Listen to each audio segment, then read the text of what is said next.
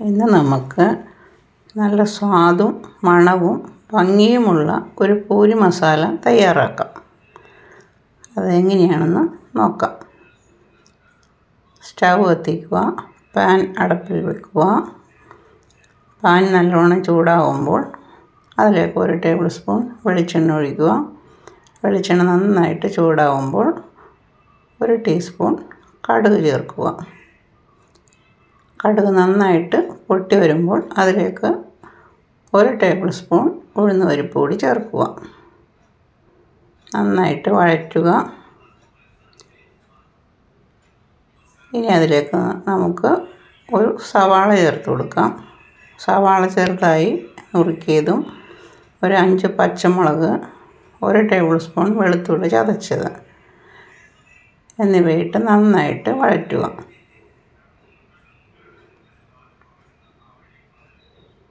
ഇനി അതിലേക്ക് ഒരു അര ടേബിൾ സ്പൂൺ ഉപ്പും കുറച്ച് വേപ്പിലയും കൂടി ചേർത്ത് കൊടുക്കാം.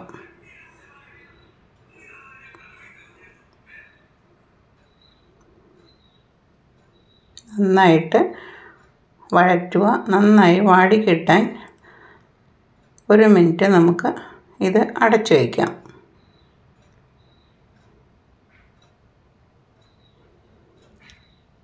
ഈ സമയം കൊണ്ട് നമുക്ക് ഉരുളക്കിഴങ്ങ് ഒന്ന് ഉടച്ചെടുക്കാം.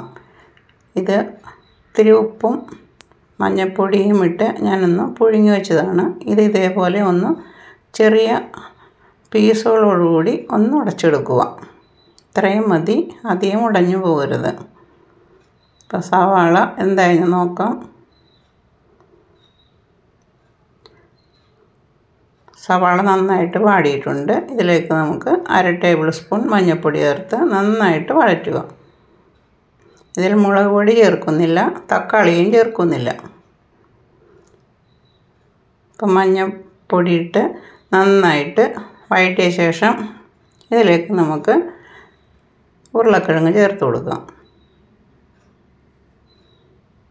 ഉരുളക്കിഴങ്ങ് ഇനി ഇതിൽ കിടന്ന് ഒന്ന് വഴറ്റിയെടുക്കണം. എന്നാലേ കറിക്ക് നല്ല സ്വാദുണ്ടാവുള്ളൂ നന്നായിട്ടൊന്ന് വഴറ്റിയിട്ട് ഒരു മിനിറ്റ് ഒന്ന് അടച്ചു വെക്കുക. ഇനി ഇതിന്റെ ഇതിലേക്ക് ഗ്രേവിക്ക് വേണ്ടി കുറച്ച് വെള്ളം ചേർത്ത് കൊടുക്കണം. ഇവിടെ ഞാൻ രണ്ട് ഉരുളക്കിഴങ്ങാണ് എടുത്തിരിക്കുന്നത്. അതിലേക്ക് ഒരു ഗ്ലാസ് വെള്ളം ചേർക്കുന്നുണ്ട്. ചെറു ചൂടുവെള്ളമാണ് ചേർക്കുന്നത്. നന്നായി മിക്സ് ചെയ്യുക.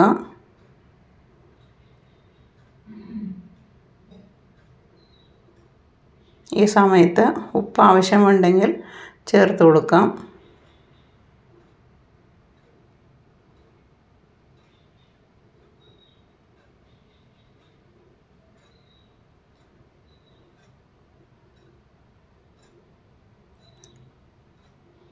നന്നായി ഇളക്കി യോജിപ്പിച്ച് ഒന്ന് തിളയ്ക്കുന്നവരെ വെയിറ്റ് ചെയ്യുക. ഒന്ന് അടച്ചു വെക്കാം. ഇപ്പം നന്നായിട്ട് തിളച്ചിട്ടുണ്ട്. ഒന്ന് ഇളക്കി നോക്കുക. ഇനി ഇതിലേക്ക് അര ടേബിൾ സ്പൂൺ ഗരം മസാലപ്പൊടിയും കൂടി ചേർക്കാം.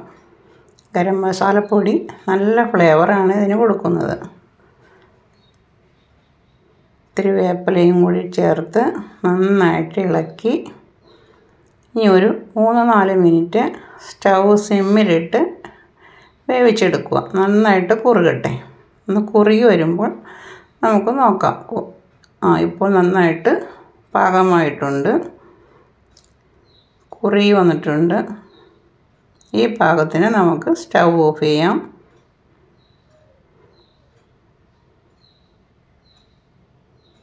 വളരെ പെട്ടെന്ന് ഉണ്ടാക്കാവുന്ന ഒരു കറിയാണ് പൂരി മസാല.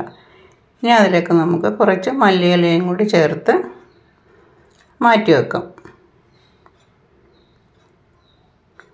ഇത്രയേ ഉള്ളൂ പൂരി മസാല റെഡി.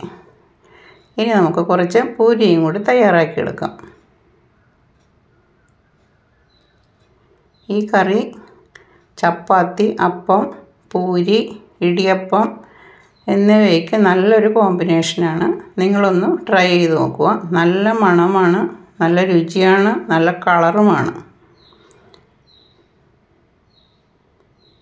അപ്പോൾ നമ്മുടെ പൂരിയും മസാലയും തയ്യാറായിട്ടുണ്ട്.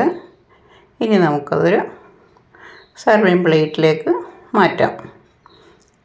ഈ റെസിപ്പി ഇഷ്ടമായാൽ ലൈക്ക് ചെയ്യുക. ഫ്രണ്ട്സിനൊക്കെ ഷെയർ ചെയ്യുക. സബ്സ്ക്രൈബ് ചെയ്യാത്തവരാണെങ്കിൽ സബ്സ്ക്രൈബ് ചെയ്യുക. ലൈക്കും കമന്റും ചെയ്യുക. നല്ല ഭംഗിയുള്ള പൂരി മസാല റെഡി ആയിട്ടുണ്ട്. ഇത് നമുക്ക് പൂരിയോടൊപ്പം കഴിക്കാം.